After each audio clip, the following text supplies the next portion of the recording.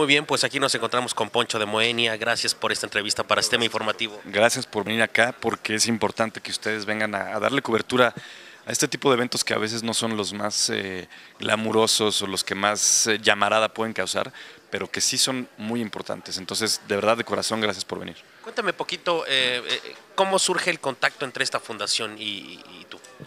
Yo creo que surge de la, de la manera eh, pues más eh, indicada, de la mejor manera como se dan este tipo de cosas.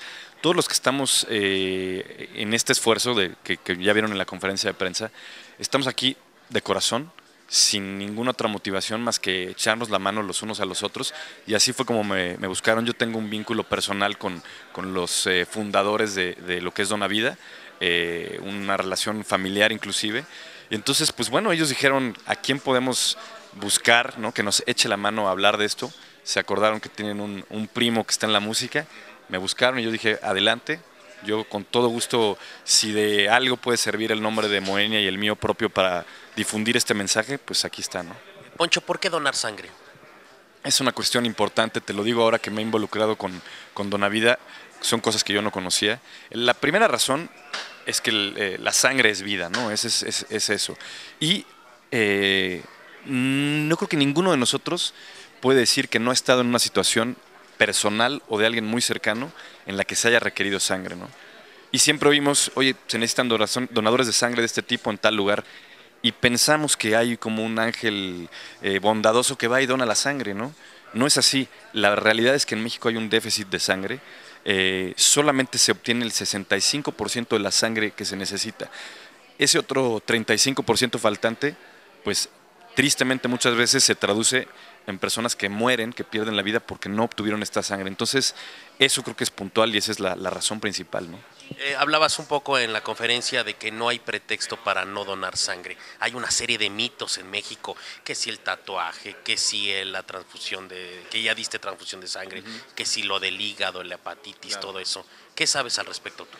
Obviamente hay, hay cuestiones, ¿no? Que sí son, eh, porque, porque es un hecho también, ¿no? Aquí la donación de sangre y sobre todo hoy en día, tanto la donación como la recepción de sangre es algo muy eh, estudiado, muy cuidado.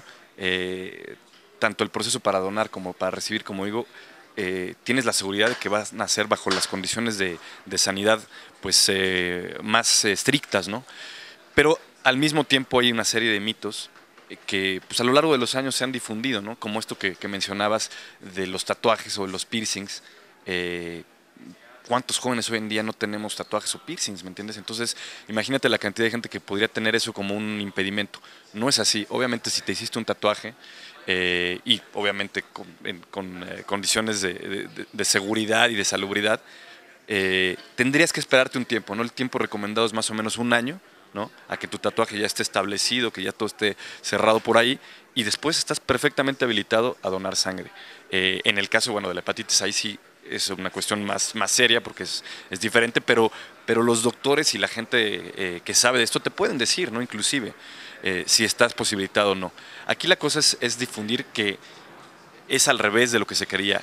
La gran mayoría de personas están en eh, una posición de poder donar sangre y eso es lo que queremos cambiar, sobre todo con los jóvenes. De ahí, pues la idea de hacer este evento, de que estemos Moenia y Banqui participando.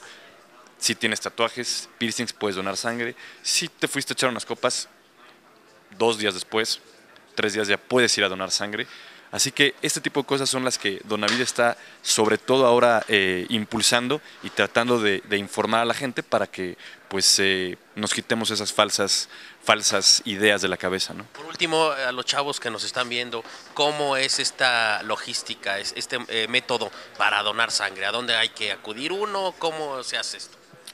Es muy fácil, mira, y hay, hay una, otra vez eh, usando los, eh, las cifras, ¿no? Eh, una hora de tu tiempo, en una hora, y eso te estoy diciendo lo que te tomó trasladarte, llegar al lugar, en este caso a los centros de, de recepción de sangre, a los bancos de sangre, o en cualquier hospital, en la sala de urgencias, eh, en una hora llegas y sales, donaste sangre, te quitan muy poquita además, ¿no? Son dos tubitos a lo mucho que se te recuperan en menos de 24 horas. Te regalan un juguito, que sales con eso, y ya lo hiciste. Y tienes aparte la satisfacción de decir que con una sola donación en una hora salvas la vida. O sea, estamos hablando de la vida de cuatro personas. Eso es algo increíble, que te digo, creo que son de las cosas que no tenemos muy bien eh, eh, esa información. Así que es muy sencillo, por eso los invitamos a que pues, cuando puedas, cuando tengas tiempo, te des una vuelta a, un, a un hospital de una manera segura, le estás salvando la vida a cuatro personas. Muchas gracias por esta entrevista, Poncho. Gracias, gracias.